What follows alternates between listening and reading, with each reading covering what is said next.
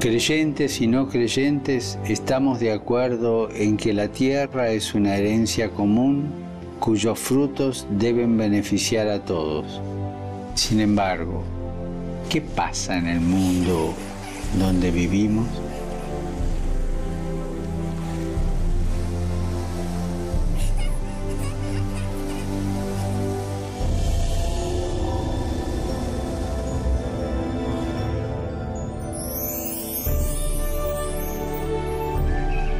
La relación entre la pobreza y la fragilidad del planeta requiere otro modo de ejercer la economía y el progreso concibiendo un nuevo estilo de vida.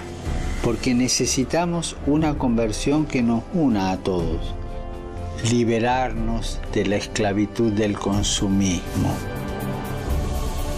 Y este mes te hago una petición especial que cuidemos de la creación recibida como un don que hay que cultivar y proteger para las generaciones futuras. Cuidar la casa común.